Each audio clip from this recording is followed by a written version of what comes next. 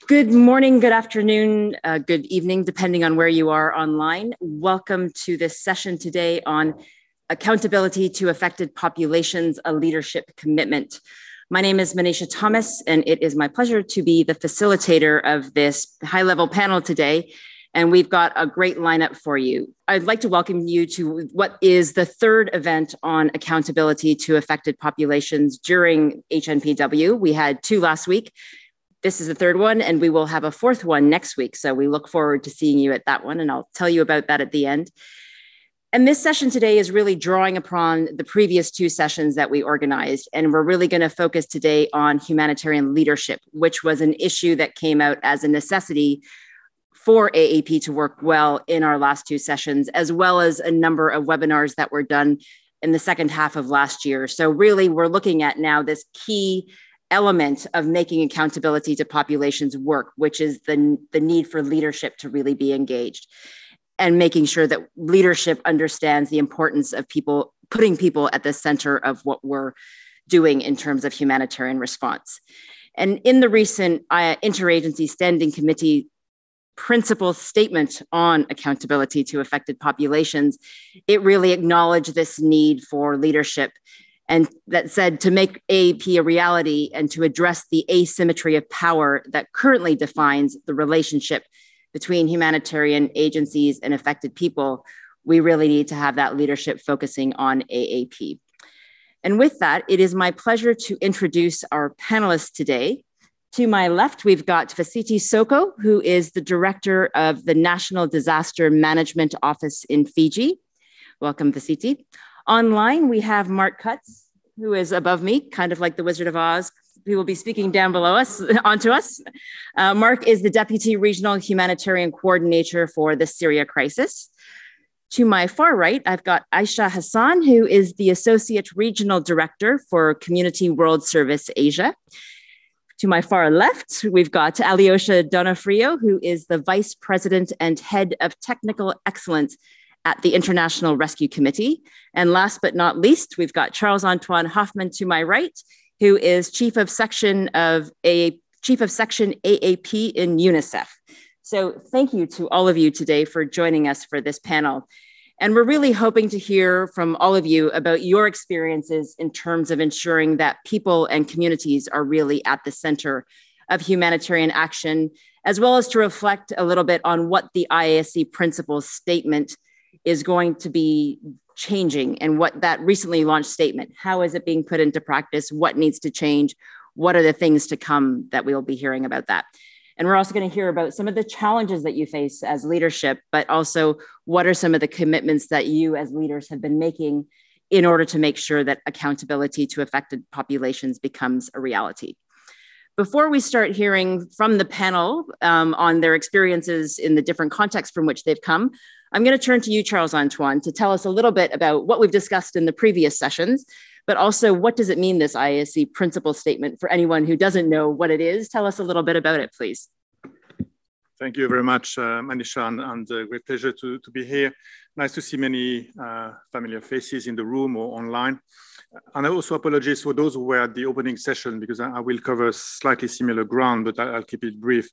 Uh, I thought that would be good indeed to, to go back to the briefly to the earlier sessions. We had flag up some of the, the, the key points that came up, but also maybe go a little bit back in time and, and reflect on the, the work we've been doing as part of the Humanitarian Networks and Partnership Week, focusing on accountability to affected populations uh, since 2018. Uh, because that's been an ongoing um, series of, of, discussions on some actions, etc. And I think that there are some key elements that are coming through these discussions, which are worth putting on the table, so to speak. And this is work we've done in partnership with the IFRC, with OCHA, with CDAC Network, CHS Alliance, and several other UN agencies and NGOs. So it's a collaborative effort. Uh, again, we've, we've been uh, doing over the, the, the last four years some of the common elements that have come through these uh, events um, are important to, to, flag up. One is, is clearly the importance of collective approaches to AAP. That's something that has been probably not a big surprise because that was the subject of our discussion, but I think that this has been reinforced over the years. But more than, than that, there's been definitely a recognition that uh, we need, as a humanitarian sector, to have much more systematic, coordinated, uh, and predictable approaches. Uh, and there's been a number of efforts around that. Uh, the jury is still out in terms of how successful we've been. Uh, I won't comment. Uh, I guess our panelists and friends will, will cover that in a few minutes. Uh, but needless to say, there is a lot more that uh, remains to be done. We also wanted to have some evidence in terms of where we are. So last year, we launched, uh, in collaboration with ODI, the Humanitarian Policy Group, we launched uh, at the meeting here uh, a series of reports uh, based on case studies in different countries, DRC, Mozambique, Central Africa, Indonesia, Yemen, which was really good in terms of again, checking where we are, but coming up with some concrete uh, suggestions, recommendations. Across all of that, the key theme has been uh, the importance of leadership and leadership engagement. Uh, and this is also why we, we wanted to, to zoom into these aspects, uh, particularly uh, this year and for this session today. And maybe just briefly going back to the IASC principle statement, uh, which uh, most of you will have, hopefully will have heard or will read after this session, um, because I, I, think that, you know, a sarcastic, sarcastic view could be to look at it as, you know, yet another set of commitments, yet another paper. But I think it gives a lot of weight in terms of some of these very important, uh, not only commitments, but changes that need, need to happen uh, in the humanitarian sector. And I think that there's a clear call in, in this document uh, to shift towards a situation where this is decision-making power is in the hands of affected communities or affected people. And there's a long way to go in my view, but, but again, I think this is clearly setting the, the, the direction. And to finish off, uh, not all of you will be familiar with the interagency standing committee and, and this gathering is definitely meant to be much broader than that but some of our discussions refer to, to, to this uh, particular um, group. Um, there's a number of things that will be put in place in the coming months through the AAP task force, which is co-chaired by the IFRC, WFP, and CHS Alliance. Some colleagues are in the room, so if there are questions, I'm sure they will be happy to answer. But again, it's a matter of taking those commitments uh, to, to, to the next level and, and uh, making them happen at country level. Um, I'll leave it here, Manisha. Super. Thanks so much, Charles Antoine, for that overview. And I think that point that you raised about having those collective approaches being important is something that has definitely been highlighted in the various events that we've had. And I think that and all of those elements, the point of leadership was highlighted as being incredibly important if you want those collective approaches to work. So I think it's very timely for us to have this panel with a number of leaders who can tell us how they've been able to support those collective approaches as well. Vasiti, I'm going to turn to you first, if I may. From your experience as director of the National Disaster Management Office in Fiji, can you tell us how you've ensured that communities are at the center of what you're doing? Bula vinaka, everybody, and thank you for that question. Um, there's quite, a, you know, the question is quite, covers a lot of areas, but I'll narrow it down to three main components. The first one is the importance of emergency structure. Uh, for Fiji, we are fortunate that we have a structure that are in place that is bottom-up approach. In our emergency structure, apart from the uh, senior government officials that makes decision during critical times, we have two members that are not government official, and this is Red Cross and Fiji Council of Social Services, which is a representative of all NGOs in Fiji. So these two main um, members into a council brings that community aspect into our decision making. Um, so one is the emergency structure. Two is the importance of policies and training. I can't emphasize that enough. Yes, you will have a lot of uh, communities that are affected, that you go in and you support them and you assist them.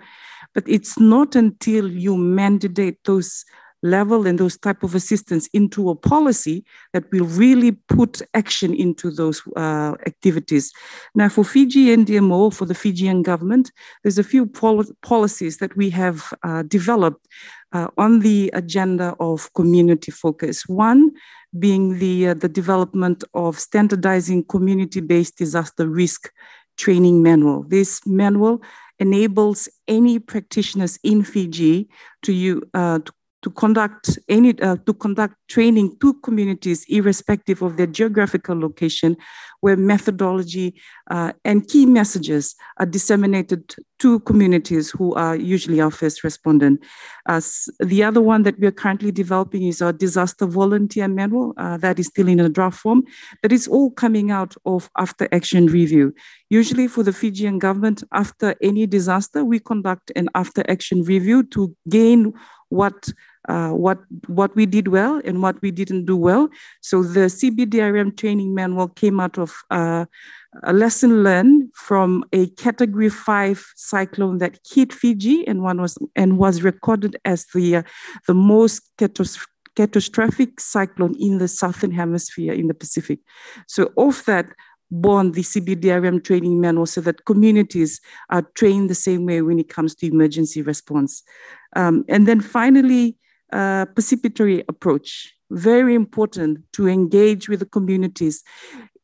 The communities are first responders. I always say that they are the first one that will be out and about looking for victims or looking for those that have been affected. Uh, and therefore, training those very young ones or training those ones uh, on how to respond to any disaster. And I'll give one probably ex one example. Um, an island that is very far from, uh, very location wise, it's, it's easier for them to go to Tonga than to come to our capital of Suva. Um, and this particular island, because of the community engagement and the training that we have done uh, as government officials, in an event of a disaster, the teachers are the ones that goes around with the youths in the village to collect vulnerable uh, members of society. So we're looking at the elderly, the disability. Uh, the, these, the vulnerable ones are then moved first to the evacuation center to ensure their safety. Uh, these are some of the measures uh, that we have in place that we are working with our partners, including our CSOs and NGOs, um, to ensure that no life is lost, but most importantly, having the focus around community uh, and their involvement during a response. Thanks very much, Vasiti. And I think that point that you made around how you're doing those after action reviews to constantly learn about what you could be doing better and really applying those lessons is an incredible one. And I think we often do evaluations in our humanitarian community, but we don't necessarily pick up on the lessons identified. So it's great to see that you're really doing that and a, good lesson for the rest of us to, to pick up on. And, and that point around also how you've got the teachers on the island really identifying those who are most at risk I think is incredibly important as well, because if we're figuring out how do we identify those who are most vulnerable or who are most marginalized and, aren't easy to get to often in a response, that's also an incredibly important point for making sure that we're responding to them. On another point, you know, what are what is some of the coordination you've put in place with partners, and what have been some of the challenges or opportunities that you've come across in those partnerships? Thank you. Um, again, there's quite a lot done in that space as well, but I'd like to just highlight a few. Um, the Fiji Council of Social Services, which is the NGO, uh, the head of the NGOs in Fiji, uh, we worked with them with regards to uh, developing two key documents. One is localization. Uh, we, we, we promote localization. Uh, we want to encourage localization mainly for the idea of mainstreaming um, response in a way that will enable uh, those communities that are affected to understand the principles of response. The second one that we worked very closely with is the, uh, the code of conduct for civil, uh, for civil society organization. Uh, this is an ongoing initiative that we have with FCOSS, uh, and then we have partners such as CDAC. Uh, Fiji uh, replicated the Fiji the uh, cluster system that the UN has. We've contextualized that to Fiji, and we've and we've called it the Fiji cluster system, which has nine clusters.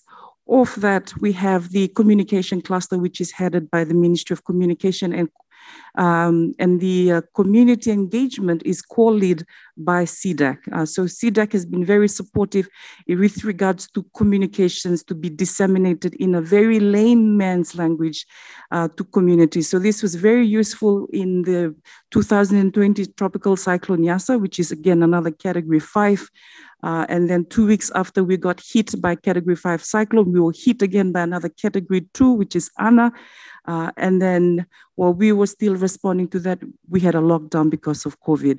And all these disasters that we were responding to key messages to communities very critical, and therefore working with our partners to disseminate that information down to the public saves lives. Thank you. Thanks very much. And I think that point about kind of simple communication is also eh, critical because oftentimes in the humanitarian community, we have lots of acronyms and lots of terminology that don't make sense to many other people outside of our, our forum. So I think it's great that you've been able to have that kind of communication and working with partners. So thank you for that. I'm going to next turn to you, Mark. Um, no, sorry, I, I, I, I'm wrong. I'm going to turn to Aisha first. Sorry. I'm not reading fast enough.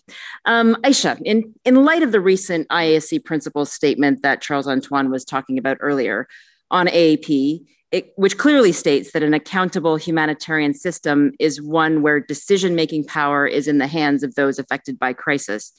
From your own experience, have you seen much progress in terms of shifting this power? Um, thanks, Manisha, and hello, everyone. Um, yes, if we compare it like uh, from previous years, there is definitely progress.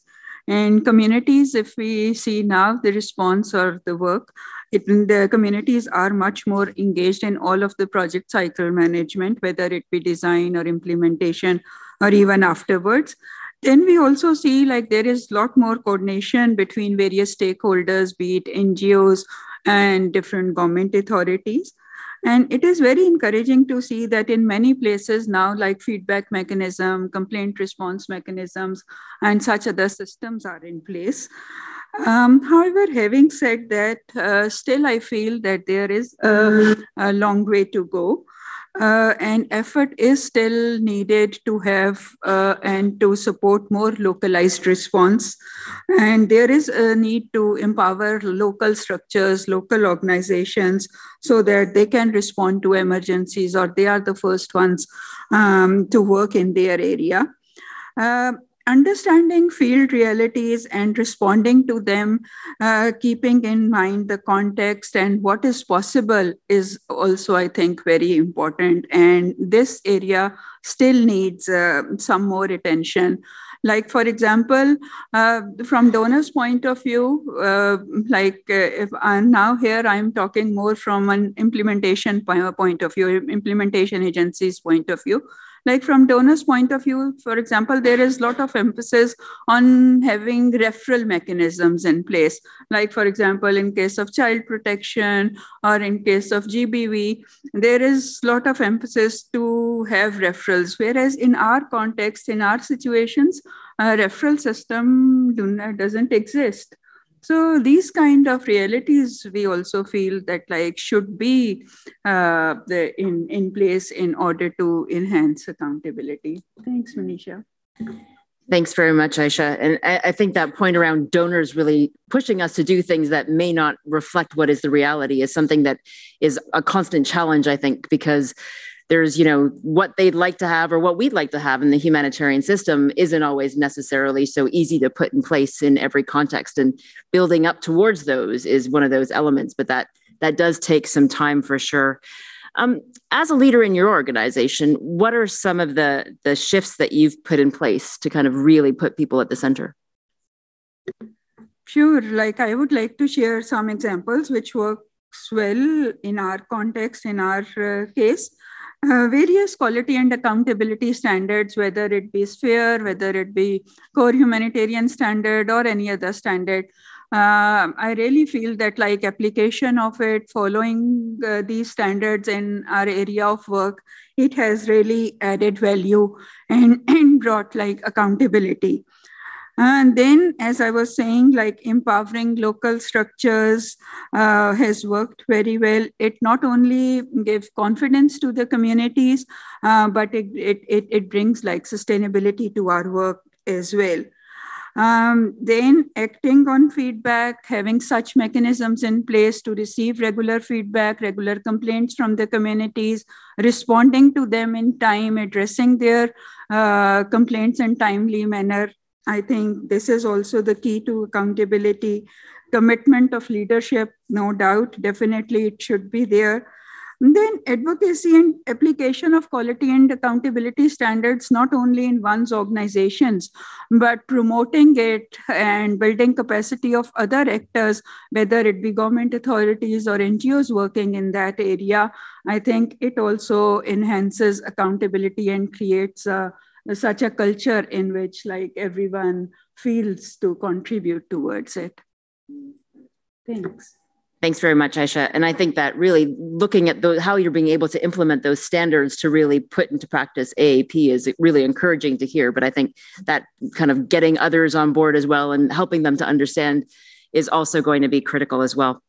Mark, now I'm going to turn to you, Mark. Um, with the recent efforts within the IASC to ensure that AAP commitments are supported by leadership at country level, what are some of the steps you've taken with the leadership within the leadership of the humanitarian liaison group to make sure this becomes a reality.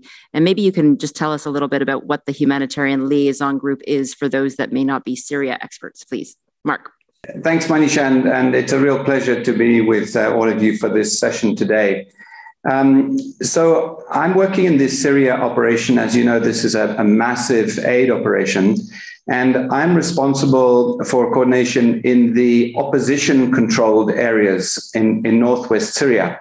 So um, our group is not called the humanitarian country team because you normally have one humanitarian country team for the whole country, and that's in Damascus.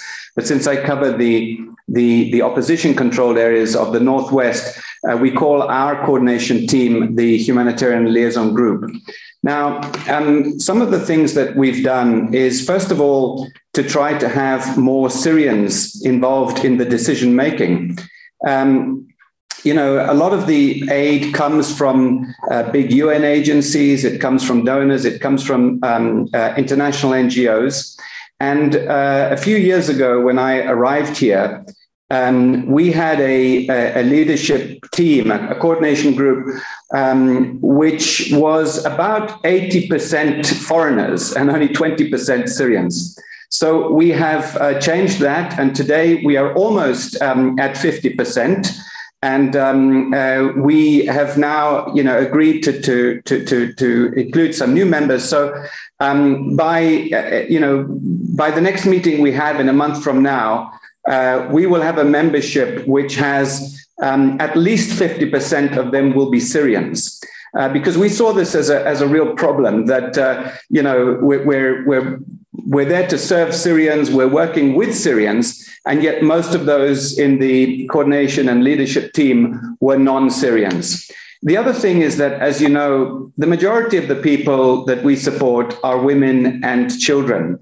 And we also had a very male dominated team. Now, this is not just particular to our operation. I think in you know throughout the Middle East, but also in many other countries around the world, many of these um, humanitarian leadership teams tend to be very male dominated. It was particularly the case in um, in our operation here because um, almost all of the Syrian uh, local NGOs were um, headed by men. Um, the UN agencies, I'm afraid, they did not set a good standard themselves. Even today, we have um, 10 UN heads, and nine of them are men. Uh, can you believe it? It should not be that way uh, in, in, in, the world today, but it is that way. And so um, we had a, a, um, a, coordination group where um, the great majority of the people in the room, sometimes 90% of the people in the room, believe it or not, were men. So um, in my leadership role, I simply decided we will change that and we will have a hard and fast rule that there will be a, uh, a coordination team which will have uh, 50% women and 50% men. And that's what we have today. I've just come from uh, a meeting of that group right now. And, and it's a very different kind of meeting, I can assure you. Um, uh, the, a lot of the women um, in, our, in, our, in our team, you know, Syrian women, they ask for different kind of issues to be on the agenda um, of our meetings. So we have very different kinds of discussions.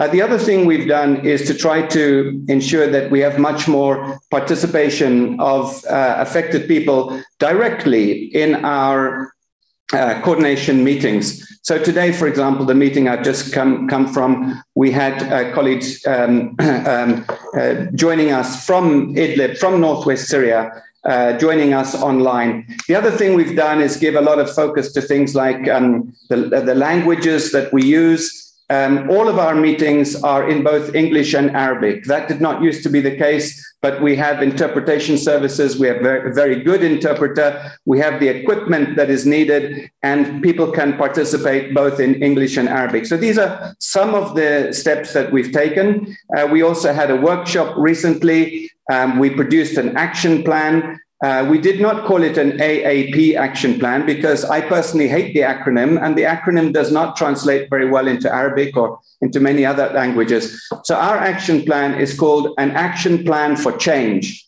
and it has 10 points i don't think i have time to go through all of those 10 points now but you know it's all about you know including um, people with, with, with disabilities in our discussions having much stronger participation at every level and of course all of what we're doing is not just about our, our main coordination body. We're trying to ensure that this is replicated throughout all the clusters and all our working groups and throughout everything we do. Of course, that takes time, but in my leadership role, I've wanted to set the tone. So that's the way uh, we, we, um, we run things in our main coordination body.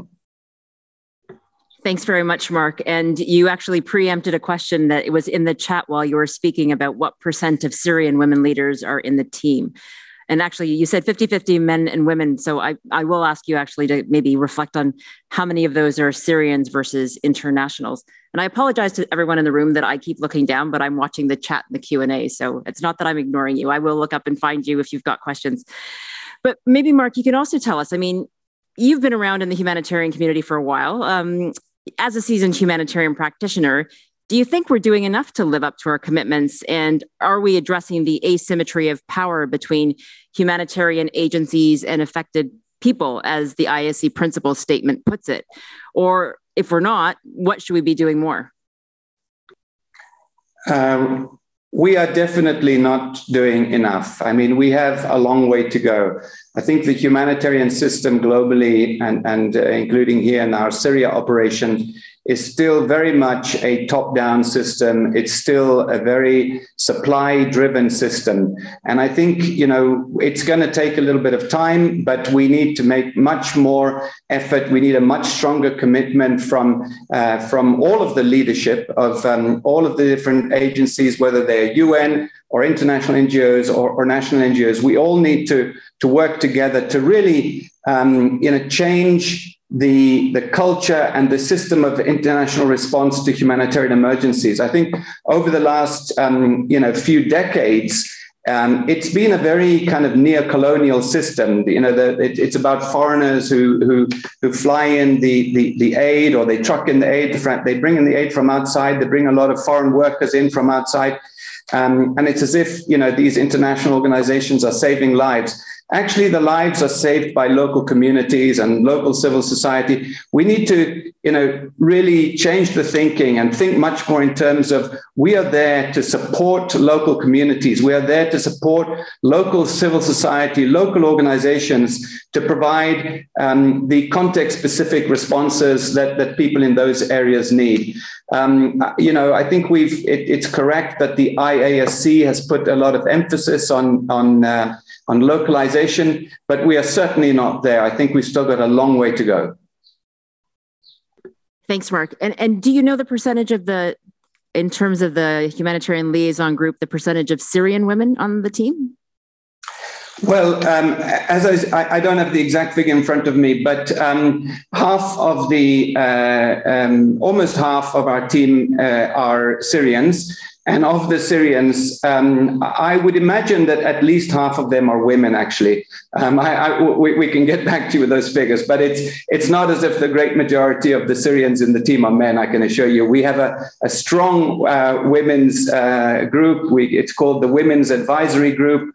Um, they're they're a very dynamic group. Um, you know, today they were. I just come from a meeting where they were presenting. They linked us up with women inside Idlib. Um, we have very different kind of conversations because we do have a lot of women, uh, and and you know, we you know what we found the, the, other thing we did really is we made our coordination group is not about just about heads of agencies Um, you know, there are a lot of women leaders. They might not be human, uh, uh, heads of their their NGO. They might not be the heads of their organization, but they are leaders in their own right. There's, there was already a very dynamic group of, of Syrian um, leaders, and we've simply, you know, made sure that they are part of our platform. This is not a, a male platform anymore. It's not a UN platform. It's not there for foreigners. It is a humanitarian team, and uh, you know. And by the way, if we can do that here in the Syria operation, where um, you know almost all of the, the the the the heads of the organizations are men, and we have a leadership team which is fifty percent women. If we can do it here, we can do it in any uh, humanitarian country team around the world. And I'm surprised they haven't been doing it more. I think it should be a rule in every one of the teams. It should be a rule. It could be a rule, and it's very easy to do. If you want to know how to do it, you can talk to us. Um, it, it, works extremely effectively here. Thanks very much, Mark. Um, and I think that point that you also made around AAP being a, a difficult acronym to also, or difficult concept to translate into Arabic, probably applies in many other languages. And uh, there's, I, I will be coming back to the questions in the chat for all of you, but there was a point in the chat around you know whenever we call we talk about accountability it is understood in different ways by different development practitioners. So maybe we need to try to formulate a common definition so that across both humanitarian and development actors we might be able to better understand.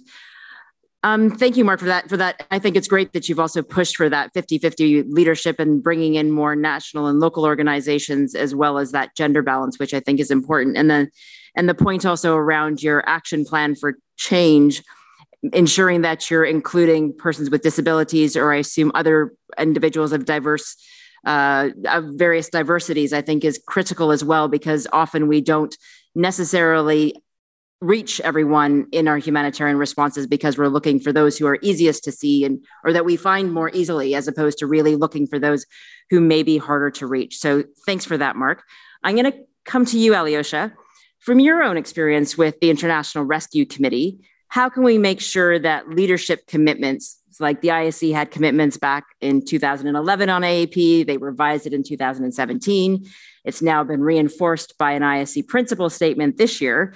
How do we make sure that those are acted upon, and what, what is IRC doing to make sure that those are acted on? And why does it seem so difficult to make some of those very much needed changes? Thanks, Manisha. And um, I guess I am probably one of those cynics that uh, Charles Antoine was referring to at the beginning, who might be saying, why are we still talking about this thing? And I guess the, the answer to start with, why is it so difficult and a diagnosis of, of what's going on? Um, I mean, there is no, there's no end state here. There's no perfect state that we get to where somehow aid is accountable. Um, and so the reason we are still talking about it is is rooted both in its in the difficulty of of shifting power relations, but also in the fact that you know there, there are there's progress forwards, there's progress back, there's uh, there's backsliding, there's um, there is no sort of simple linear uh, path to being more accountable. This is about increasing the number of moments in which you are accountable and being more accountable in those moments rather than less accountable. So it's it's um, at the risk of using another piece of jargon, it is a continuum, and it's it's about um, struggling to to make progress on that continuum. So why why is it difficult to make progress? I guess you know I'm coming at this from a perspective of working in a in a large um, international NGO. But whether you're in a large NGO or a small organization, whether you're uh, in a UN agency or whether you're in a, a, um, a, a private contractor or a, or a um, or, or, a government, generally speaking, what we're talking about is operating in um, highly decentralized contexts and operating in ways where um, the you know for very good reasons the change agenda is a very crowded marketplace. Um, you know we all want to do better on so many different axes. We want to use more evidence. We want to be more cost effective. We want to use better data. We care about safeguarding.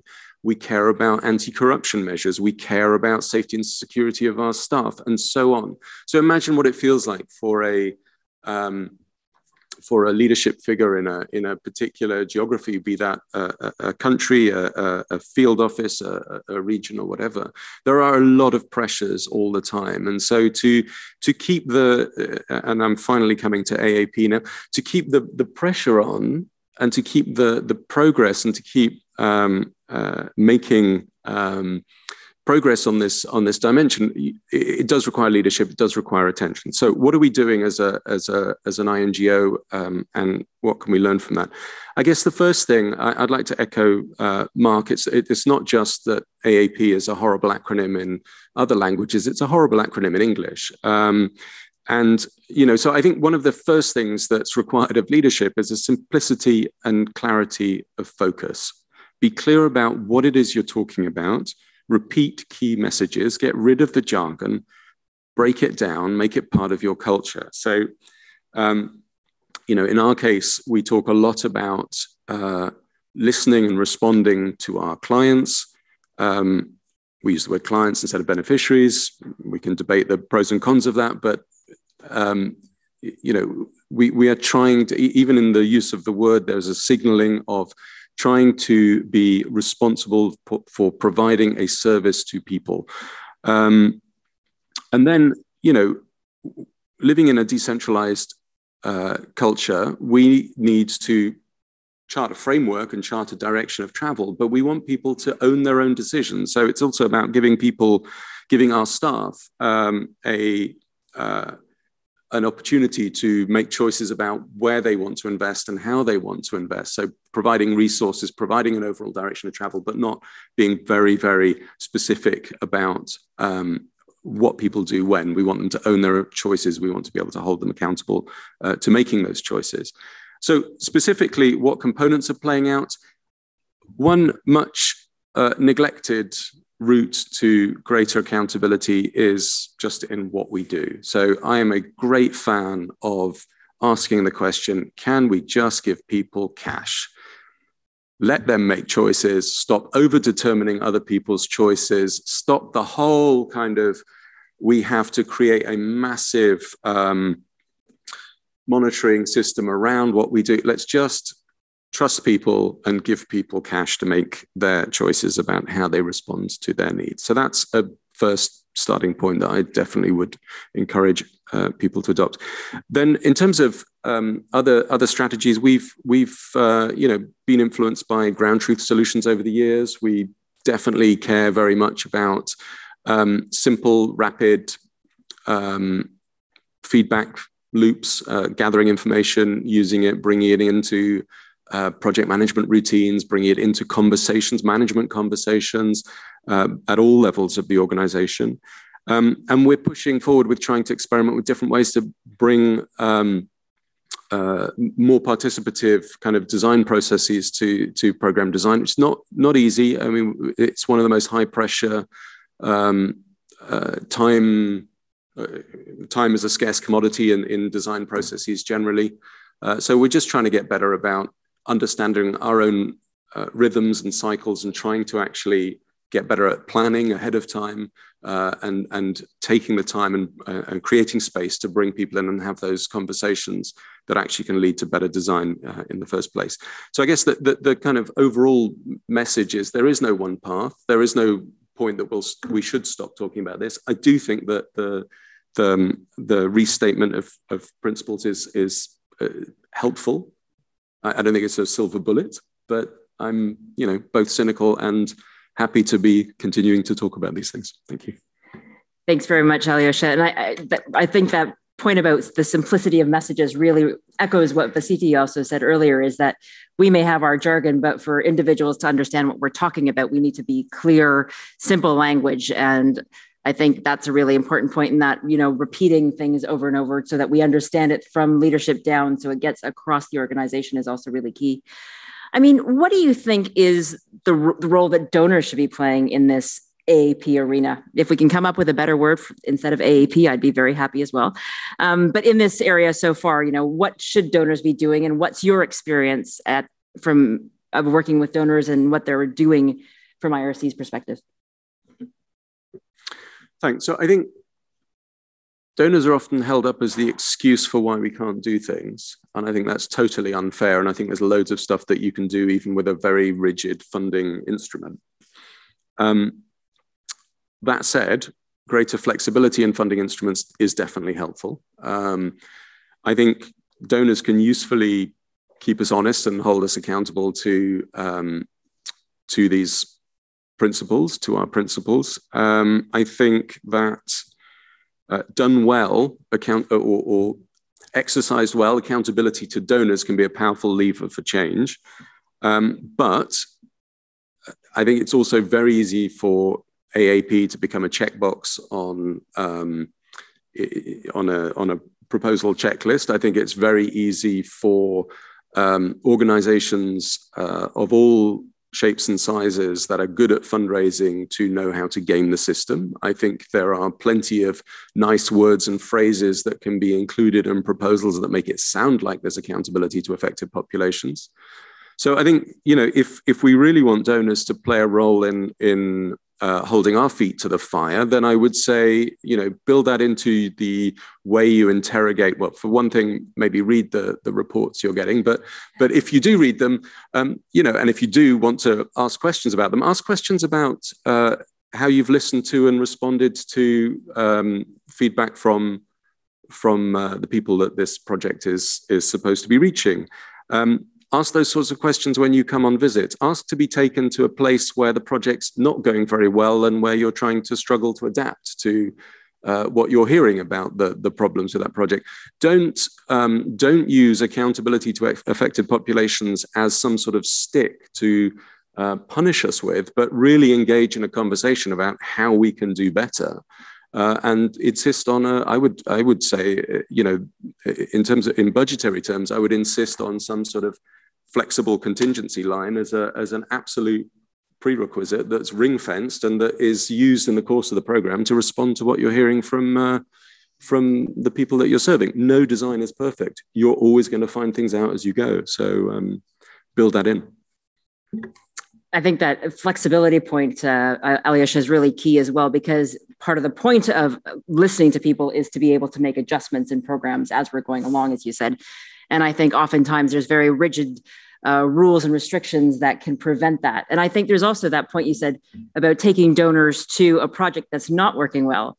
I feel there's a lot of organizations that are very unwilling to do that because they don't want to look bad because of the fear of the repercussions in terms of financing. I mean, is there something that we can be doing to really have that conversation with donors so they understand that everything's not going to work perfectly all the time and that you know if something goes wrong it's about learning from those mistakes as opposed to being punished and said, oh, well, you didn't deliver on time or you didn't do what you said you would do in, in the project. Is there something there around those, those kind of donor conversations and, and promoting that within the whole good humanitarian donorship group because they're celebrating their 20th anniversary next year. So maybe we need to be pushing them a little bit on that side. I don't know if you've had any like conversations from IRC's perspective around that. Well, I mean, I did propose at the, I think, I can't remember which ECHO annual conference that I addressed. Um, I did propose a, a, sort of, if ECHO had a website where they had, you know, top 10 humanitarian failures and what we've learned from them, it would really send a good signal. Everyone laughed and nobody did anything. So, I mean, you know, the, everybody is operating under um, quite tight constraints. Um, I think there's a, you know, this isn't, it's not that people working in donor agencies don't know all the stuff that we're talking about here. It's just that the their incentives and the way that they are held accountable by uh, their polities is is also uh, limiting um, uh, limiting their room for maneuver. So I think really yes, yeah, we can engage in these conversations. I, have seen I've in my times managing programs in um, in Congo, we absolutely deliberately took donors to um, failing components of projects to have really good conversations with them. And, you know, sometimes it worked and sometimes it backfired, but most of the time it was a, a positive experience for all concerned. And I think that honesty actually helped to build. Um, build relationships and ultimately um, you know helped further fundraising which in a world where people do pay attention to um, dollar figures or whatever, then you know that also, I mean, you know, in, in a sense, worked as a positive feedback loop for the for the teams concerned as well. So I think you know there's there's a lot you can do, but it, it, again, it's not there's no linear path, there's no silver bullet. Thanks very much. I, I'm sure you've been seeing some of the chats. There's lots of uh, conversations going on. We do have over 300 people online from all over the world, so great that they're engaging. I'm going to try and pull out some of the questions that have come up, not only in the chat but also in the Q and A, so that we can get the panelists to respond to some of those. And then I'm going to turn to the the room as well in case you've got questions or comments to the panel as well. But some of the things, and I'm going to try and group them because there's far too many, and I'm if I miss any Charles Antoine, that please help me along the way if I, I do find them, I miss them. Um, there were a number of things. I mean, maybe we'll start with a, a, simple one, sort of, you know, this issue of language and making it, you know, accessible when we have complaints and feedback mechanisms. Uh, if Iftikhar Alam was asking when people from one country take refuge in another country and the language is different, is it possible to establish effective and feedback and complaints mechanisms and also then you know how effective can aap be carried out in a country in crisis if there is a corrupt government that considers humanitarian organizations as a threat so how do we work in those sort of challenging environments and and then also you know what measures have been put in place to ensure that organizations are accountable for their work with local um, locals and affected persons. And I think Alyosha, you you alluded to the fact that donors can do that, but also within organizations, are there systems that are holding our staff accountable for being accountable to affected populations? It seems like an awful sentence to say it that way, but is it in you know in their um, terms of reference? Is it in part of performance management? That's the better way to put it. Um, I'm, I'm just going to go through a few of those, and then I'm going to let you kind of decide which ones you want to take. But there's also this issue about uh, linking feedback mechanisms to other accountability mechanisms. Like, if you did that link, could you do it, and how could that be more impactful? And also, what about having other organizations host accountability mechanisms and to ensure that they're followed up instead of just having the organizations doing their own accountability? If that, if I understood that correctly. So really having sort of an outside organization help hold organizations accountable. On the on the point of preparedness, um, and now I've lost that question. One second, I'm sorry. Uh, prepared. Um, what sort of AP related preparedness actions have you taken in your organizations that could be used as a helpful way to access decision making for local populations during crises? So, what systems have been put in place in advance, and how can we make early warning, early action decision making processes more accessible so that when we've got crises that may be coming up, we're not taking those decisions as humanitarian organizations, but really involving populations in terms of deciding what early actions need to be taken. I'm maybe going to stop with those ones. There's plenty more, but throw it back to all of you. And I know, Mark, there's a bunch of very particular ones for you on Syria, which I'll come to. But if anybody wants to tackle any of those, I'm going to throw the floor open to see who'd like to go first. Otherwise, I'm just going to ask you one by one. Vasiti, maybe I can ask you because you've done a lot on the preparedness side. Preparedness side how are you bringing in that AAP element into those preparedness elements and conversations? Uh, thank you. For the Fijian government, in, uh, with regards to accountability to communities, one of the activities that we normally do normally do during peacetime is, like I had mentioned earlier, we conduct training. We have partners and CSOs and NGOs that work with us to, to conduct training across uh, islands. For those of you who don't know Fiji, there's uh, we have over 300 uninhabited islands in Fiji, and geographically, uh, some of us are very far from each other. Uh, and so, community-based disaster risk training manual is one of the methodology where we use uh, to ensure that communities are aware of what to do in an event of a response. There is also communication. I mean, I, I, I see the dialogue is uh, forever evolving around communication. The importance of communicating key messages down to pub, to, to communities that are, um, you know, the ones that are, uh, are our frontliners. Um, Fiji is the 14th country in the world that is at risk of disaster, and we are sandwiched with the first and the third country in the world that are at risk of disaster. So you can imagine how vulnerable we are. Uh, and so preparedness for us is an ongoing initiative. Uh, Fiji cyclone season is from November to April, six months, which means the other part of, or the other six months when we are not responding to a disaster, we are doing preparedness work. And this means training communities, uh, changing our communication channel, changing the language that we use, working with our partners, our CSOs, to ensure that the work that they are doing are in line with the standard that is set by government. But most importantly, and I'd like to encourage the word partnership, we can't do it alone. Uh, we encourage partnership with our local partners, with our donors, with our development partners to ensure that our communities' needs are addressed uh, both during preparedness as well as during response. Thank you.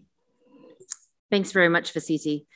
Um, maybe I can turn to you, Aisha, around some of those questions about when, because Pakistan is hosting a large number of refugees, obviously, different languages. Is it a challenge to put in place some of those uh, uh, AAP mechanisms and complaints and feedback mechanisms? Is it working well, or, or are there challenges around that?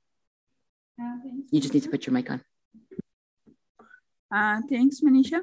Like if I, um, uh, I can share from my experience, uh, while working with like refugees or with local communities where uh, they, they, they use like different kind of language, uh, then like if one or if one organization has system in place that how to respond to feedbacks how to respond to complaints if there is a like uh, a kind of flow chart is there if uh, everyone in the organization knows uh, that like if some complaints comes in then what would be the next step uh, so then I think it is easier to get it translated. And in our organization, like we make sure that in which area, in whichever area or in whichever community we are working in, uh, like the message given is in it in, is in local language. For example, we are working with the Afghan refugees.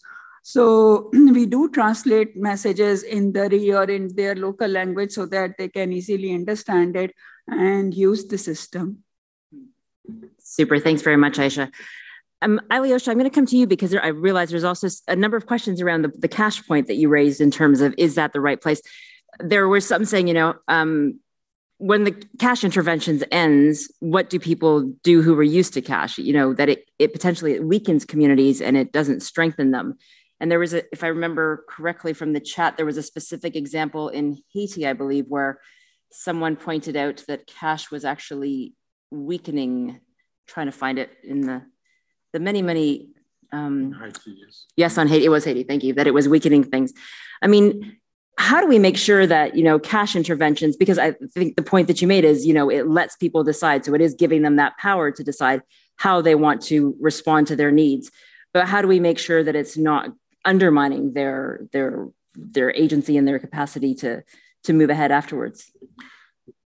Thanks. So um, first of all we can never make sure of anything, I think is a really important, like the verb or the word ensure should really be struck from the humanitarian vocab. It's, it's, we, all of our proposals ensure everything all of the time, and it really is quite frustrating. Um, I think, uh, look, there is no perfect intervention. I like, I like pushing us to think about when it's appropriate, when it's appropriate to, to use cash. Obviously, there are some prerequisites. Um, in terms of a functioning uh, market, in terms of um, what the specific needs or vulnerabilities are. It's, there's no point um, uh, thinking that injecting cash into a, a, community is going to solve healthcare problems if there is no functioning healthcare service. So that's that's not uh, you know I, this isn't a blind um, a blind call for cash interventions everywhere all the time, not at all. But it is to um, it, what I'm saying is, please, you know, let's check our assumptions uh, before we kind of plow on with something where we overdetermine what we're going to give people and how we're going to do it, and then ask them if they're happy with it or not. You know, perhaps down the line um, when we perhaps had an opportunity to just be more uh, to share power quicker and and and and more directly. Um, there are some interesting, there's interesting research going on at the moment um, about, um, so to this point about what happens when cash ends, there's some interesting research going on at the moment about um, the benefit of actually, uh, instead of uh, providing, you know, weekly or monthly or whatever payments, actually providing a lump sum uh, at the beginning and no more, and actually using that as an opportunity to provide um, uh, an injection of uh, assets that allow people to um, again make more choices take more initiative. Uh, and again how so just to say how you how you provide cash is obviously also that there are there are more uh, trusting and more um, uh, beneficial ways of doing it and and and less so as well. Do you want me to answer any of the other quickly okay so um, bringing feedback mechanisms in with our other accountability mechanisms. I think you know one of the one of the kind of hopes I think in our case is the use of um, data dashboards to overlay feedback data on indicator data, on expenditure data, on procurement data. We're not there yet. We're getting there, and it's it is. Um, and again, it's not a silver bullet, but it's just a way of raising flags that we can then address through uh, management conversations. On the third party accountability system versus doing it in each organization, I would love a decent third party accountability system, but we have been talking about it for years. So we're getting on with it in the meantime. If someone wants to come up with this and fund it, great. We'll jump at the opportunity to not have to do our own data collection all the time. But if we wait for a system wide approach, we will be waiting a long time. Um, let me stop there did you want to also, and I should have asked you as well, Aisha, in terms of the how do we hold our staff uh, to make sure that they're actually doing the AAP work? Is that something that is in their terms of reference performance yeah. management? Yeah, so it's built into performance. It's it's getting more built into performance management. It's built into how we talk about um, our uh, sort of key principles as um, as staff of the organization. It's built into. Uh, it's getting more built into um, kind of standard hiring questions uh, and interview guidance. Um, so there's there's ways that we're sort of bringing it in at the front end as well, and then it's definitely becoming part of pan, uh, performance management conversations. Um, but to be honest, I, am not a great fan of the like. Fine to use performance uh, review meetings, but these things happen you know, once a year or maybe twice a year, depending on your organization and depending on how much time people have got and all the rest of it. And it's far more important to bring it into the lifeblood of conversations between uh, between colleagues and between managers and and, uh, and their their staff. And so I think that's also something we're trying to model: is how do how do we from um, from senior management bring that into into conversations and try to kind of model the interest that that uh, this subject brings to uh, or has for us as leadership of the organization and how we then hope that sort of trickles down and out. Thanks very much, Alyosha. Mark, I'm going to come to you because there were a few specific questions for you, and then I'm coming to the room after that. Um, for Mark, if you have any reflections, if any, on the manipulation of aid in Syria, how has it impacted trust between agencies and affected communities? And how, if at all, has it influenced aid strategies? Also, uh, Mina was agreeing with you about accountability as a way of working and a culture that needs to urgently change. As a term and an official definition, AAP is disconnected from our commitments in the grand bargain to see a participation revolution.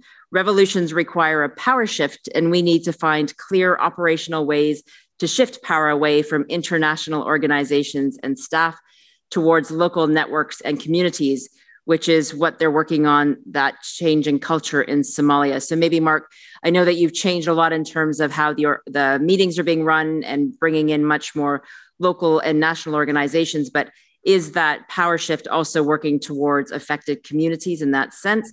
And then a last one for you, Mark, plus feel free to answer any of the other ones I also had flagged before. Uh, one second. Um, you had talked about the Mark. You talked about balancing participation of women and men, Syrians and internationals. How about building population proportionate participation of youth in leadership? So, Mark, maybe I can hand over to you. Just a few questions. Sorry. Um, yeah, no, they're great questions. Thank you, and and particularly the last point about uh, youth. Um, you know, I I think we do need to engage much more with uh, communities at every level, um, and that certainly includes youth. And you know, often they're a very neglected group. Um, you know, there's a lot of focus on child protection, but even that tends to be largely, you know, focusing on on children at primary school age and getting those children into school and those kind of child protection issues. Um, the, the youth um, often are, are, very much uh, ignored in our humanitarian work, and yet they they have a lot to say. Um, they can contribute massively to our thinking and planning, and and uh, definitely we need to find more ways to include them. Um, I, you know, I, I don't want to. When, when, I say we've made some changes and we've got some better gender balance in some of our coordination bodies, I don't want to give the impression that all is well because it, it's not. You know, um, Syria is a is a big crisis situation. Um, you know, the the needs are going up. The the um, funding and the you know the the needs are going up, the aid is going down, and there's a lot of desperation. Um, and uh, so, so you asked about uh, manipulation of aid. I mean, we do constantly have to deal with, you know, the dangers of um, interference in our humanitarian operations and aid diversion. But because this is a, um, a very high risk area, it's a war zone. There are UN listed terrorist organizations that work in this area. We therefore have um, a, a, lot of very strong um, risk mitigation uh, measures in place. Um, that's that's a that's a very big um, uh, focus of our of our work, um, and so when it comes to risk mitigation, you know, of course, absolutely essential that we prevent any diversion of aid. Um, these feedback mechanisms are very important, and one of the things we do is, um, you know, IOM, for example, when they, when they distribute um, any uh, relief supplies, they go in cartons, and the carton has on it, uh, every single carton will have on it a, um, you know, a phone number to call, a WhatsApp number that you can call in different languages, email addresses that you can give feedback. I think we need to find ways to do this much more systematically. Uh, we also have hotlines, um, you know, that are used, but in our operation, as in other parts of the world, there are often different agencies have their own hotlines, different clusters have their own hotlines, and I think we need to find ways of you know being much more systematic about we use uh, the way we use those. Um, uh, you um, you know um, get get feedback from communities. But ultimately, um, it's not just about getting the feedback. It's it is about involving them all in all of our thinking and planning um, throughout every uh, phase of the response. And and I, I'm glad um, someone in the chat has, has mentioned uh, the grand bargain and having a participation revolution. I think a lot of that, a lot of it is about having much more um, participation of these different um, groups. You know, it's not just the youth; it's it's uh, it's elderly people, it's people with disabilities. This has all been part of our action plan for change because we are trying to ensure that each of these different groups has um, the ability to contribute. But as I said, some of it comes down to some very basic principles like language. You know, when, when most of our language uh, meetings were in English, it was very difficult for some of those groups to be able to participate. So um, there, there, are some very basic things that we can do uh, to build trust. And a lot of it is also about, you know, basically just communicating with communities and making that a very two-way communication. Um, it's it's not just about um, uh, us communicating to them. We need to give them a, a, lot more opportunities to you know to to communicate with us. Um, I mean, a lot of very broad uh, themes have been raised today, but um, I'll hand back to you, Manisha, if you have any other specific questions. Thanks very much, Mark. I'm going to actually let those in the room have an opportunity to ask questions because I know there's lots of, it's much easier to sit and type in a, a chat box than it is to be able to get some airtime when you're in a room. Um, I'm going to open up if you just raise your hand, please. And then if anybody's got questions or comments, and then just introduce yourself, please, and use your microphone, please. Thank you. Hi, good morning, um, and good morning, panelists. Um, my name is Severine Ray. I'm the just until recently the head of OCHA office in Lebanon. Um, nice to see you all. Um, special hi to Mark. Um, so, um, because the session is on uh, leadership commitment, and uh, hearing from you, and I really like and will quote this uh, crowded uh, change arena. I think it's another way to say people are very busy, but I do understand uh, the point. Um, and reflecting on some of the points made by Mark and Vasiti as well, um, some of the solutions that you seem to bring up are quite simple in a way. Um, so, with the risk of sounding very naive as opposed to very, um, uh, you know, cynical, I'm, I'm wondering what are the challenges for the country leadership not to, you know, make this happen? Uh, and uh, in line with the discussion, and, um, and thanks also to Charles Antoine for outlining the new IASC principals uh, declaration how can you know is there anything that we should ask principals and donors like simple steps to you know incentivize that it happen you know based on this blockage um, that you could a bit highlight in terms of field leadership? Thank you. Thanks very much Severine other questions in the room? Please. I'll take a few and then come back to the panel. Thank you. Jen doherty from alnap so, um, Manisha, you mentioned the power dynamics between the system and local populations. And I was wondering about some of the power dynamics within our own humanitarian organizations. So it's often, you know, frontline staff who are interacting with communities on a daily basis, getting information and feedback and learning from them. But are their voices necessarily the ones that are respected within their organizations? Can they make the change? and what can leadership do to try and help make that linkage so community voices don't get lost in some of our own negative power dynamics thanks very much jen other comments or questions from the room if not i'm going to take a few more that are that have come up here another one is you know how how do humanitarian organizations prove their accountability to affected populations you know how do we know that we're doing it right uh, there's also this a question around we seem to mix up a lot of things under the name of AAP. And this is now we're going to get into acronym city. And I don't know what all of these mean, but I think it kind of reflects the point uh, even better that we mix a lot of things up. Mahbub from who's a CWC, so communicating with communities working group coordinator in Cox's Bazar says there are so many concepts like communicating with communities, C for D, which is communication for development, I believe, BCC, which is blind carbon copy for me. I have no idea what it means. Anybody? Sorry? Behavior change. Behavior change communication, thank you. Uh, inclusion, localization, information provision, community engagement, feedback mechanisms, etc. How can we establish some global agreement on common names or titles and standards on all of these issues? And then linked to that point around standards, a question also about, and I think Aisha, you touched upon this a bit, but maybe to uh, elaborate a bit more. How helpful do you think the core humanitarian standard and the sphere standards are to approve accountability in practice, and how how helpful are they in terms of supporting leadership as well? Um, just looking to see if there's any other ones that I'm actually maybe I'll just let you guys answer those. Uh, anyone want to go first? Mark, if you put your hand up, I can see if you want to go first. Mark, then, thank you.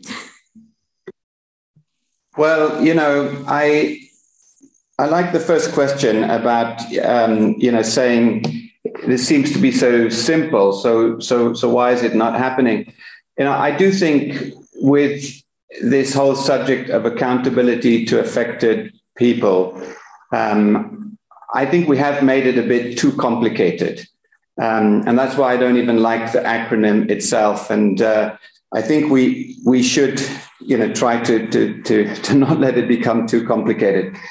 Um, and you know, to me, the the one dimension that does not really get enough attention is the issue of gender equality. And this is not something that is limited to the humanitarian field. field. This is a global challenge. And it's one of the biggest challenges in the world today, like climate change and you know some of these environmental issues. It's it's one of the biggest problems in the world, and a lot of the um, power imbalances stem from the lack of gender equality, and we have massive gender inequality still in the um, in the humanitarian community, in many of the UN agencies in, in much of our, our work. And, you know, I think if we, you know, we're making things too complicated. If we could focus much more on this issue of gender equality, we would find that we quickly find ourselves much closer to communities. And at the moment, it's men who speak for most of these communities. It's men in the humanitarian organizations who are speaking to them. And that's where a lot of the problem is. Um, so, yeah, that was just one of the initial thoughts that I, I wanted to put out there. Thank you. Thanks very much, Mark. Vasiti, please, thank you. Thank you. Just to add on to uh, what Mark had uh, mentioned, um, thank you, Mark, for covering that. That just took the burden off from me, what I wanted to say next. But um, I also also would like to add, given the locality of Fiji and our vulnerability, it's the, the dynamic of complex emergencies that we are also facing now the disasters that are facing, um, climate emergencies that we are facing are getting more and more frequent and more and, and, and communities are getting more and more vulnerable as we uh, communicate, um, you know, emergency structures, emergency response down to our community. It's different for different disasters. Uh, nobody expected COVID to happen, uh, and it did happen. So the, the, the emergency structure that happened for COVID was very different from the normal structure that we do during a natural disaster. So this is adding another layer uh, on top of what Mark had mentioned as to why you know it is not as simple. Why you know it's simple why it's not happening. It's also because of this element that are being thrown to us.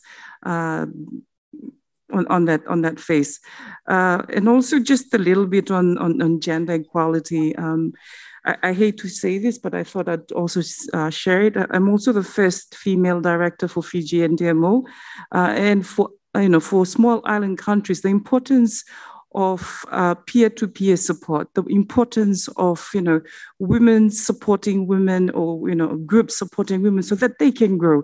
Uh, not only am I the first, I also won the Women uh, International Women Leadership in DRR 2021, I think, last year. See what COVID has done. So these are the, you know, these are platforms that are there to uh, uh, give women in, in AOSIS countries, in SIDS countries to grow, to address not all of gender equality, but at least address some of it. Uh, and some of it is a stepping stone to all of it. Thank you. Thanks very much, Vasiti. And uh, it's great that you're the first woman to be the head of the NDMO, but it's it's a it's a little bit unfortunate, as, as they say, that you know there weren't more before you. But congratulations on the award, and that that a point about peer to peer support, I think, is also incredibly important as well. Aisha, can I turn to you for some of those responding to some of those questions, and then Alyosha? Yeah, sure. Um, here we are talking about like a lot of aspects of accountability. Like for example, we are talking about inclusion, protection. Then we are also talking about like complaint response mechanism, community engagement, participation, etc. Well, I like as a practitioner uh, and from uh, implementation point of view, I am a big advocate of quality and accountability standards. And I feel that like, uh, for example, if I here take the example of SPHERE or core humanitarian standards, it covers like various aspects of uh, accountability and if like uh, organization if systems and policies are enough in place to comply with these standards I think it, it, it, it really improves uh, the quality of work and makes us uh, accountable. Thanks very much, Aisha. Alyosha, do you want to take some of those other questions? Uh, sure. So I guess um, global do we need to do we need to have do we need to agree on a common language? Uh, I guess is is one question. I mean, the, a lot of the comments in the chat are about how untranslatable um, various documents and comments are. And I think, in a way, again, in, in, a naive, simplistic way, perhaps, driving just down to are we helping people in ways they want to be helped? If not, how can we improve? I mean, you, you, you can create a language and an infrastructure around that that, that can get very complicated very quickly. Um, and, I, and I think that sometimes is a bit of a distraction. On this issue of how we, um, so okay, assuming simplistic naivete, how do we how do we incentivize? Um, I think you know, you, the way I approach that is to look at what people's incentives are now and, and, and what is it that defines success in your role as a as a leader in a particular geography or a particular sector, and then think about how that is perhaps supportive or, or a barrier to um, us being uh, us helping people better. Um, and so it's kind of trying to tease that apart a little bit more. And there isn't, a, again, there's not a one size fits all answer to that. But I think that, um, you know, oftentimes we are, uh, we define people as successful if they grow the program or if they, you know, get through a clean, clean audit or whatever it happens to be. And it, the, the, financial imperative can be quite, quite strong in, uh, in organizations. And so just sort of unpacking that and thinking about what additionally you can use to try and incentivize or um, complement incentives that already exist, but but reinforce this issue of, of how we're operating seems to be quite fundamental. Um, the question on power dynamics within organizations and staff voices, I think, is absolutely um, spot on and and quite um, Uh, you know, and whether it's a gender dimension, whether it's a, a, a, question of ethnicity or citizenship or language or, or whatever the, the barrier is to, to hearing frontline staff voices or, or the neo-colonial assumptions we all have in our organizations and, and don't even notice, whatever those barriers are, uh, they absolutely do need to be challenged if anything is going to go anywhere. Otherwise, it's going to be a very small, quiet conversation that happens at the margins that isn't then heard by the organization and acted upon by the rest of the organization. Um, we did toy with the idea of trying to create some sort of composite um, responsiveness index. So were we were we listening to staff? Were we listening to uh, communities? And and we're still sort of toying with that. I, I think, yeah. I mean, I, jury's out on whether that's a good idea or not. But but um, it, it, it seems logical that you can't just think about your organization in a in a, a, sort of unitary way and just look at the relationship between that unit and the outside world but you have to understand what's going on inside and where the where the barriers are to to hearing voices uh, across the organization thanks very much alyosha and I mean, there's, I'm just looking at some of the comments, uh, a lot of agreement around that link that needs to be made between AAP and gender equality. But also, there's a, a comment here around sort of um, on the complexity, maybe there's a disagreement with AAP experts who would disagree that it's been overly complicated. And uh, Fernanda is saying, I sense the root cause is misperceptions that we need to tackle with senior leadership uh, training, which is urgent. Perhaps we can call it a senior leadership brief to unpack some of that complexity for those who are not experts. And I think this issue around, you know, there's a lot of emphasis here around leadership commitments cannot be overemphasized and that you know organizations really need to communicate clearly with their communities and different stakeholders to increase accountability i think you know we've had lots of different comments and i and think you've all really highlighted the importance of why leadership is so key if we're ever going to really succeed with accountability to affected populations ideally with a better name at some point perhaps. But maybe just to come back to all of you for you know is there one last thing that you want people to take away you know thinking about what is the role of leadership or what as leaders do you want people to remember or or work on leaving this room today? I don't know who wants to go first don't all jump at once charles antoine please I think I think what I'm picking up from the, the discussion now that's been really really good, but I'm, I'm sort of left with um, half full, half empty kind of uh, feeling because on one hand I can see some progress. I can see that you know excellent to hear Mark uh, shifting the, the, the power dynamics between the the country leadership and everyone on the panel as well. Lots of good things, but uh, part of me is also thinking know, there, there's a number of sort of takeaway in my head. One is that, you know, this point, is it not something simple? Why are we not doing it? I think we, we the reason it's, you know, it's partly not simple because we are over complicating things. There's no doubt. And the, the taxonomy, the language around it, I mean, getting fairly frustrated by the fact that we are, as individuals, practitioners who are meant to engage with communities, we're not even able ourselves to come up with a language that makes sense and is simple enough. So, so I think there's, we need to look at ourselves definitely on, on this one. Um, but I think we're also going around the, the real problem and you know the reason the, the half empty part of the, the situation uh, is probably because we, we are not tackling the, the root problem in some ways. And I think it definitely goes back to this power dynamics uh, point. Uh, I think we look at it from, you know, doing AAP as if it's a series of things you put in place and then job done, as opposed to looking at it from being accountable. And comes with that a number of things we, we, which are less comfortable, I guess, for particularly for large organizations to, to be to accept to shift the power. And that goes back to this leadership question. I think what I can see in UNICEF, for instance, is you know you, you have a number of leaders who understand and, and are very supportive, and then changes can happen. Mm. But you also have others who, who, are probably more reluctant to, to give up some of these power. So, so I think that the effort should really be on that, uh, probably more than on the technical elements only, or maybe it's a combination of those. And we tend to limit AP again, sorry for using this acronym. Maybe that's the last time forever, but from my side, but uh, you know, limited to you know, let's set up some complaints and feedback mechanisms and job done, and you know, we move on to something else. It, it's there's a lot more than that. Thanks very much, Charles Antoine. I realize we've got three minutes left, and Mark, I know you need to leave on the dot, and I'm hoping we can wrap up quickly. But Mark, can I come to you for like one minute and then a, a minute, 30 seconds from each of you, if that's okay? And then I'll wrap up and tell us when the next one is. Mark, please.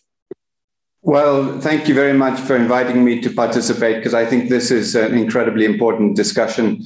Uh, it is hard to, to, to kind of reduce it all to, to, to, one or two words. But, you know, if I have to think of the, the key words, to me, this is all about um, respect. It's about trust. It's about dignity. Um, it's about listening, it's about empathy. These are all some of the words I've seen come up in the chat and that a number of you have mentioned. And, uh, you know, I think overall we have to just try to, you know, bring a little bit more humility into this work. Sometimes we're very arrogant, we're very supply driven and top down. And we just need to bring more humility into this work. Um, I think I'll leave it there. Thank you. Thanks very much, Mark, and thank you for joining us on the panel if you need to leave. Vasiti, could I come to you maybe, and then Aisha, and then Alyosha? Mark again stole my word. It was humility, but I probably just uh, my last word would be contextualizing leadership. Uh, you know, different countries have different um, leadership role. Different countries have different culture, uh, and therefore, when you do go to this uh, environment, please um, do have the you know the time to understand uh, culture do have the time to understand the environment uh, so that your le- leadership is contextualized to the environment. Thank you. Thanks very much Vasiti. aisha please.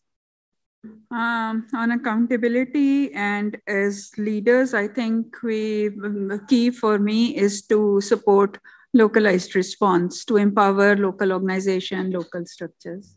Thanks. Thanks very much aisha. Alyosha uh, thanks. So I guess um, make it simple, change something, see if it happens. We'll see what happens when you do. Uh, adapt, keep keep changing. Uh, don't think of this as a, um, an end state. Think of this as a, a, a commitment, a, a journey that we're on. Thank you. Thank you very much. Alyosha. And huge thanks to our panel. I think you've really highlighted some of the opportunities that you've been able to take advantage of, really the ways that you're putting the, the, the journey towards accountability to affected populations into practice, but also some of the challenges that are there. And I think you've really highlighted the need to work with individuals throughout the organization, really setting the tone from the top making sure that people understand it is a key part of their jobs, but then really working also in that interagency setting so that we're working together bringing in that gender equality, bringing in that localized, more local participation. And so it's not just such an international system that's coming to bear, but also working with others, you know, to understand how can we, whether we're AAP or these different kinds of acronyms out there, we're really putting people at the center. So trying to understand how best can we do that by listening to them and then adjusting what it is that we're doing so that we're not coming in as humanitarian organizations and telling people what is right or wrong, but really trying to make sure that we're following what they identify as the needs. Um, I think you've all summarized it really well, so I'm not going to try to do much more of a summary there. I do want to just flag that we do have a recording of the event. A recording of the event will be made available in video and audio only podcast format at that link up there in the coming days. There's also an evaluation survey that we would love you to fill out so that we know how to improve for the next one, which is next week. And there's the link for the survey. It should just take you a couple of minutes. And our next AAP event for during HNPW is on May 19th on Thursday at 10 a.m. Geneva time. So we look forward to having you there. Huge thanks again to all of our panelists and also to our interpreters, our captioners, PHAP, who's been running all the background things, and our CICG, tech, CICG technicians who've been supporting us, and to all of you in the audience here and online. Thank you very much and have a lovely day. And sorry for being a minute late. Thanks.